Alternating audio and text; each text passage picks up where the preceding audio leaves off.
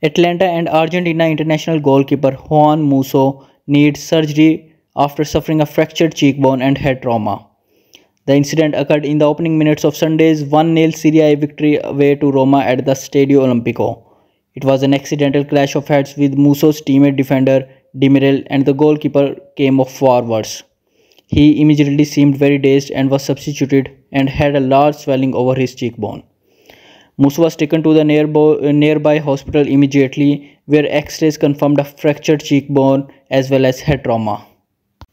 Musso will remain in hospital for a few days where his surgery will be conducted and concussion tests will also be conducted uh, for his head trauma.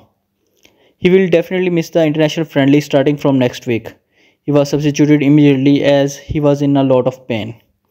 Due to the seriousness of his injury, I think he may miss uh, football from 6 to 10 weeks.